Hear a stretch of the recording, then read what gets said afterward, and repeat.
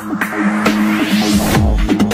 सत स्वागत है आप सबका आपके अपने YouTube channel Bollywood box office dot com movies music and more Chandigarh में पहली बार होगा mega air show.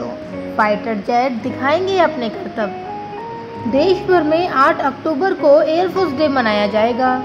इस दिन चंडीगढ़ में पहली बार इंडियन एयरफोर्स की टीमें एयर शो का आयोजन करने जा रही हैं। इससे पहले यह शो केवल गाजियाबाद के हिंडन एयरबेस में ही आयोजित किया जाता था परंतु अब की बार इस शो का आयोजन गाजियाबाद के हिंडन एयरबेस से बाहर चंडीगढ़ में किया जाएगा।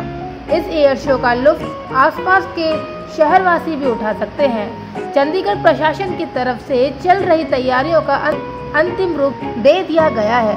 एयरफोर्स डे के दिन होने वाले शो को देखने के लिए चंडीगढ़ के साथ साथ दूसरे राज्यों के भी लोग आ सकते हैं।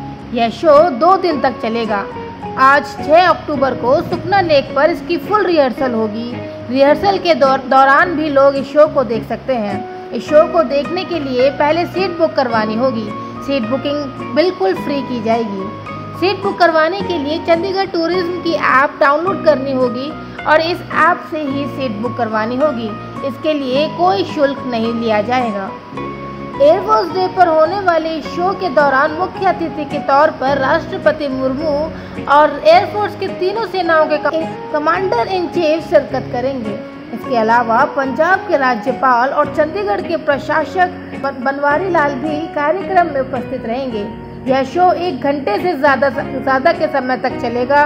इसमें Akash Ganga paratrooper transport aircraft helicopter और एडवांस फाइटर भी एडवांस फाइटर की टीमें भी भाग लेंगी। इस शो को देखने के लिए स्कूली बच्चों को भी इनवाइट किया गया है। इस शो में लगभग 100 विमान विभिन्न विभिन्न करतब दिखाएँगे।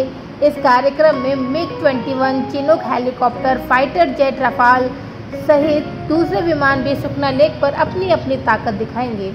यह शो केवल गाजियाबाद के हिंडन में ही किया जाता था, लेकिन पीएम मोदी के निर्देशों पर पहली बार मेगा एयर शो का आयोजन चंडीगढ़ में किया जाएगा। वर्ष 1971 के युद्ध के स्वर्णिम विजय की याद में पिछले वर्ष 22 सितंबर को हुए इस एयर शो का आयोजन सुखना लेक पर ही किया गया था। इस शो का नाम सूर्य किरण रखा गया था। इसे देखने के लिए सुखना लेक पर भारी संख्या में लोगों की भीड़ उमड़ रही थी। फ़िलहाल अब 8 अक्टूबर को होने वाले शो की तैयारियाँ शुरू कर दी गई हैं। पूरे दिन आसमान में फाइटर जेट उड़ते दिखाई देते हैं और लड़ाकू विमानों की आवाज़ आसमान में गूंजने लगी है, लगती है। आपको हमारी ये वीडियो पसंद आई हो तो इसे लाइक और शेयर करना ना भूलें और ऐसे ही चटपटी मसालेदार खबरों के लिए हमारे चैनल के साथ जुड़े रहें और इसे सब्सक्राइब करना ना भूलें।